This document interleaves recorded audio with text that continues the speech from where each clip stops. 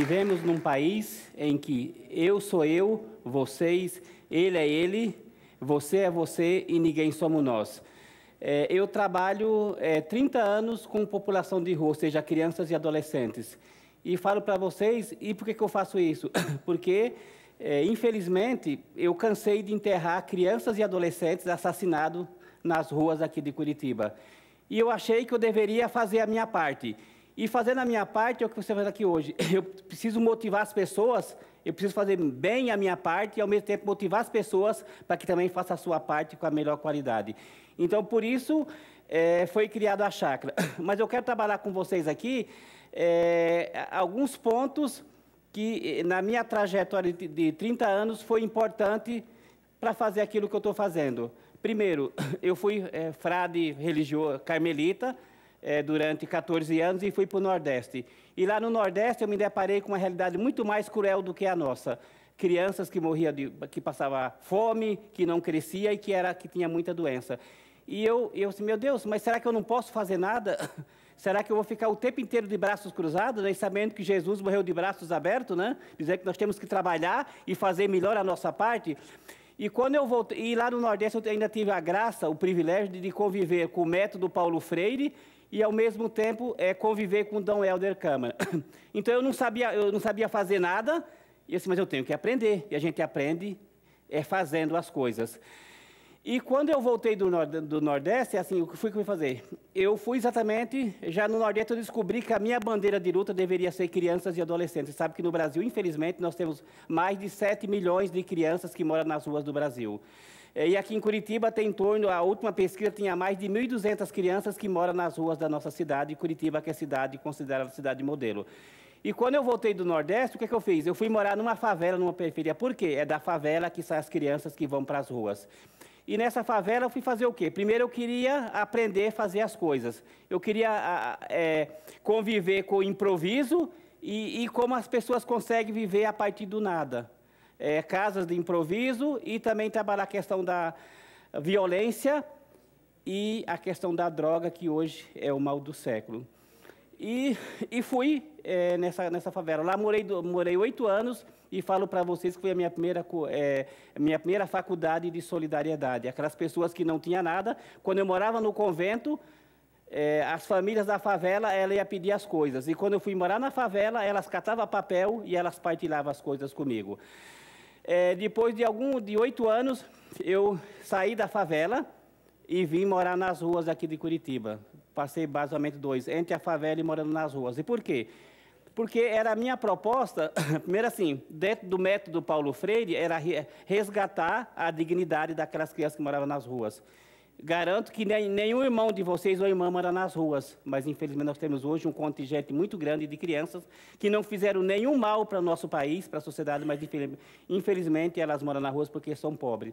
E às vezes a gente fica é, dizendo que precisa abaixar a maioridade penal, e pena de morte e extermínio. Mas é uma população que, infelizmente, já é condenada a morrer. Por exemplo, é, a questão de um mês, eu recebi um garoto na chácara, que eu vou explicar para vocês rapidamente, e esse garoto ele recebeu nove tiros é, do, do, de um traficante. Recebi o primo dele, que perdeu a arma do traficante. Recebi a semana, é, dois dias atrás, um menino que tomou seis facadas na cabeça e os, do, e os dois irmãos dele foi assassinado. Isso em São José dos Pinhais. Então, o, o, o, desafio que eu tenho, eu, quando eu falei com a minha equipe, é esse: é você é, tirar as pessoas da rua, muitas vezes do lixo, e devolver para a sociedade com outro padrão de vida. E também eu aprendi nessa caminhada, gente, fazer de um limão uma limonada. Então, eu tenho que fazer a minha parte é, e, e motivar as pessoas para que façam a sua. Mas quando eu fui para as ruas, uma coisa que os garotos pediam muito, eles pediam casa. E eu disse, escuta, mas no, as casas de Curitiba não funcionam. tio, funciona, só que os projetos é feito de cima para baixo. O poder público pensa muito mais em resolver a situação deles do que resolver a nossa situação. Então, nós estamos com um pé no projeto e outro pé na rua. Falei, então pense o que, é que a gente pode fazer para melhorar a vida de vocês.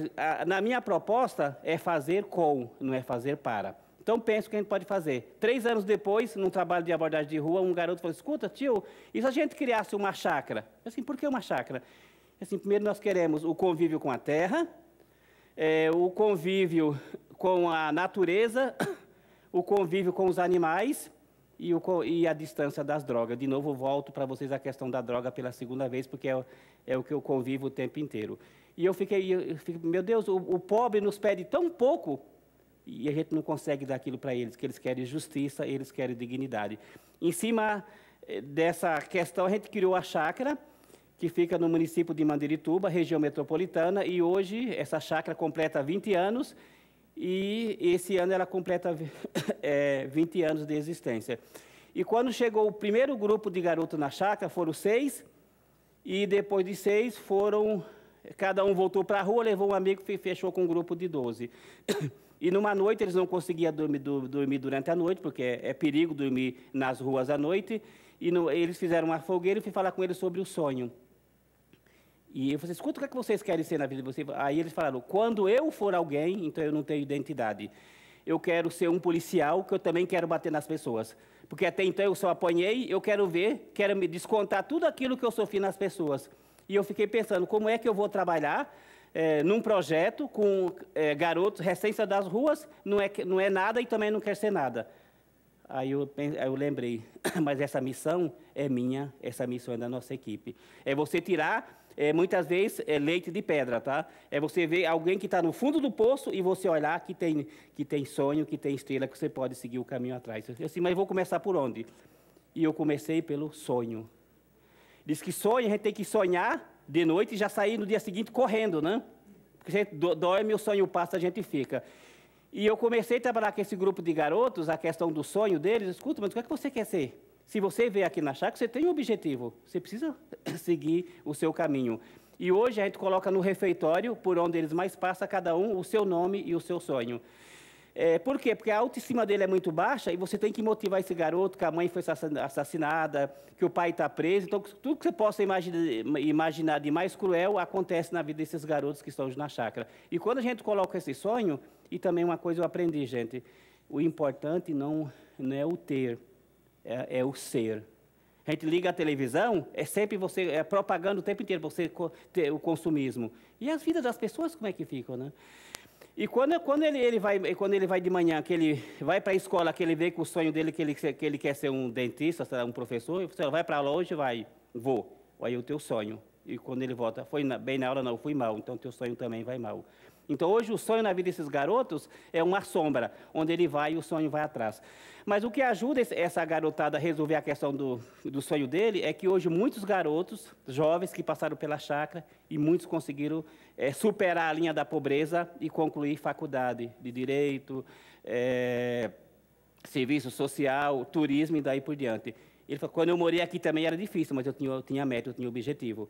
E hoje eu consegui realizar e volto aqui para a chácara com dignidade. Então, é, é, o sonho é a porta de entrada desse garoto. E também uma coisa que eu faço muito, gente, é virar o jogo. Hoje nós temos um jogo cruel, volto a falar da droga pela terceira vez, é, por exemplo, eu tenho que negociar menino com o traficante.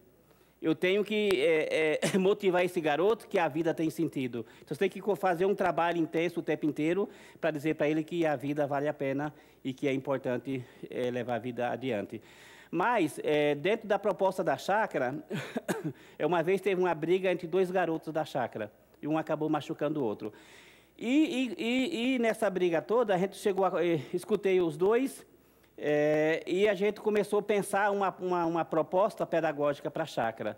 É, e essa proposta pedagógica para a chácara, hoje, está vinculada com a questão do meio ambiente. Alguém está vendo aqui uma caixa que eu já vou tirar as ferramentas. É, então, assim, então, a, essa proposta da chácara, hoje é muito importante, tem que trabalhar com as crianças, com os adolescentes, e ao mesmo tempo tem que cuidar do meio ambiente. Alguém já até já falou sobre a questão da sustentabilidade. E hoje a gente é, fez a proposta da chácara, é, baseadas em quatro propostas pedagógicas, que são as, que são as ferramentas. É, acolher, ouvir, cuidar e transformar. A primeira ferramenta que eu citei para vocês é exatamente a, a, ferramenta acolher. Tem uma frase que fala: é, o, é, o, remédio para o sofrimento é exatamente o acolhimento. Então, é, a acolhida que a gente faz para o outro, e principalmente a, os que mais precisam, marca a nossa responsabilidade que a gente tem com as pessoas que mais precisam. E vendo a, a ferramenta acolher, eu, no reino animal, a gente descobriu que a galinha significa isso. Está vendo uma galinha aqui? Chocando alguns ovos. E o que faz a galinha? Ela choca os ovos e, e, e depois ela fica basicamente seis meses de braço, de, de asas abertas, né, assim, para poder cuidar da sua cria. Será que a gente faz isso com os nossos filhos? Será que a gente faz isso com as pessoas que mais precisam? E a galinha, um animal que faz tá o tempo inteiro, ela não sobe no puleiro, mas ela fica, às vezes toma chuva o tempo inteiro de asas abertas para poder acolher a sua cria. A segunda ferramenta pedagógica é a ferramenta ouvir. É uma boca, é, dois ouvidos e dois olhos. Então eu preciso falar muito, muito menos e ouvir muito mais. E um dos, um, um, um dos motivos que me levou a trabalhar com os garotos, 30 anos, é, que, que eu fiz? Eu comecei a escutar, no começo do trabalho, a história de vida de cada um dos meninos para a chácara. Toda noite eu, eu, consegui escutar a história de vida de dois garotos. Porque eu, eu tinha que me provar para mim mesmo que esse trabalho era importante, que eu tinha que fazer. E quando eu cheguei no final, de, do, era 22 garotos, eu ouvi todas as histórias, eu disse, eu não posso ficar isso só para mim. E foi publicado um livro, ela, a edição, primeira, primeira edição, e foi lançada o ano passado a segunda edição, onde os meninos contam as suas histórias de vidas é, na família, na rua ou em outros abrigos, projetos e hoje na chácara. Mas voltando à ferramenta é, ouvir, é, então assim, diz que quem não consegue ouvir também não consegue dialogar. E digo para vocês, o, o, o, melhor remédio para curar qualquer dificuldade é você ter uma escuta ativa, é você escutar mas escutar com o coração. Então, nós precisamos primeiro escutar a gente mesmo e depois escutar o outro. Quando a gente vê alguém na rua, a gente acha que alguém vai pedir algo para a gente. Mas não, a pessoa precisa ser escutada. E pergunta para você, quem escuta quem está na rua? Essa, essa garotada, ninguém escuta. Elas acabam sendo tratadas como um caso de polícia, gente. E deveria ser tratada como um caso de política social. A nossa terceira ferramenta pedagógica é a ferramenta cuidar. O Boff fala que cuidar, na verdade, não é um ato, cuidar é uma atitude. Aí eu falo para vocês. E, então, a gente hoje predomina exatamente a falta de atitude, né? Com relação às nossas crianças, com relação aos nossos adultos e daí por diante. Então, é, e ele também fala que nós fomos cuidados. Nós somos, todos nós aqui somos filhos do cuidado. Alguém cuidou de nós e, nem vê, e, e quase sempre eu não consigo cuidar do outro como ele merece. E nessa ferramenta pedagógica, a gente pegou exatamente o exemplo aqui, que, que animal é isso aqui? Qual que é? É um corvo, exatamente, é um urubu. E por que eu trouxe esse animal aqui? Porque quando a gente, por exemplo, ele é discriminado, primeiro ele é, a, a, fala que ele é, é, preto, ele é feio e ele vive de carniça. Mas eu falo, quando morre um gato, um cachorro de vocês, a gente descarta. E o que faz esse animal, ele pega para si. E se ele não fizesse isso, você imagine, imagine vocês a quantidade de doenças que tem no nosso planeta. Mas ele faz isso gratuitamente a custo zero. E quando, então, o urubu, o corvo, é um cuidador cuidadoso. Ele cuida da, das pessoas, ele cuida do planeta. E quando o, corvo, ele devora uma determinada carniça, ele voa bem alto, porque é, muito, é muita podridão no nosso planeta, ele voa muito alto, ele começa a refazer o seu organismo, e ao mesmo tempo ele começa a observar onde tem mais sujeira, onde tem mais podridão, para ele começar tudo de novo. Então imagine o trabalho desse animal, mesmo sendo discriminado, mas ele realiza o papel de cuidador cuidadoso. A nossa é, quarta ferramenta pedagógica, que é a, ferramenta transformar. Os meninos que, pela, que passam pela chácara, ou que passam por vocês, o sonho deles tem que se tornar realidade. É, o presente tem que virar futuro. A nossa miséria tem que se transformar em riqueza. O fracasso precisa ser transformado é, em, em sucesso. E a rua tem que se transformar em moradia. Então, a ferramenta transformar, eu preciso transformar as pessoas que chegam até, até nós. E quando eu pego essa ferramenta, eu pego o exemplo aqui. Que animal é esse aqui? Abelha. Então, para nós, a abelha aqui é, é, o símbolo da transformação. E eu peguei esse exemplo por quê? Porque a abelha, ela só, ela só consegue trabalhar em grupo, ela só consegue trabalhar em comunidade. E ela trabalha com as flores. E as flores nos acompanham quando a gente nasce e quando a gente morre. E, e, a abelha, ela, ela, é tão especial que ela tem cinco olhos. E dois olhos é para ela poder ver durante a noite. E o tempo inteiro elas estão, ela está antenada fazendo o reflorestamento. É, o produto dela é tão digno que é o único produto do, do mundo, o mel, que nunca se estraga. É para sempre. Porque é um trabalho feito em grupo, é um trabalho feito em comunidade. E numa colmeia tem em torno de 60 ou 80 mil abelhas é, se organizando, e toda essa organização ela deixa para nós o mel e tantos outros derivados. É, então, assim, a, a proposta da chácara e, e aquilo que eu faço é você resgatar a vida das pessoas. E também é o seguinte, eu trabalho 30 anos com população de rua e agora eu já estou saindo para uma nova missão. Então eu quero voltar a morar nas ruas do Brasil, não aqui em Curitiba a, princípio, porque no, no, nosso sistema capitalista a gente tem sempre uma massa sobrante. Então não tem escola para todo mundo, não tem moradia para todo mundo e não tem educação para todo mundo. E se eu não tenho pão para todo mundo e que eu não tenho, eu não posso comer o meu pão sozinho. Eu tenho que partilhar esse meu pão com as pessoas que estão do meu lado. Então, a minha próxima missão, minha próxima tarefa é já conseguir um grupo para dar continuidade ao trabalho da chácara. E falo para vocês que a gente tem uma diretoria e a próxima diretoria da chácara vai ser coordenado por um garoto que foi morador da chácara. E mais seis vão fazer parte da diretoria. E, e com isso, eles vão fazer o trabalho deles e eu vou fazer o meu trabalho. E, para terminar,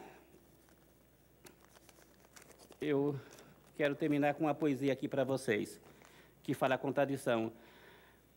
Para vocês, vida bela, para nós, favela. Para vocês, academia, para nós, delegacia. Para vocês, carro do ano, para nós, resto de pano. Para vocês, piscina, para nós, chacina. Para vocês ir à lua, para nós morar na rua. Para vocês, luxo, para nós, lixo. Para vocês, Coca-Cola, para nós cheirar cola. É, para vocês, avião, para nós, camburão. Para vocês, imobiliária, para nós, reforma agrária. Para vocês, tá bom, felicidade, para nós, igualdade. Nós também amamos a vida, nós também queremos viver.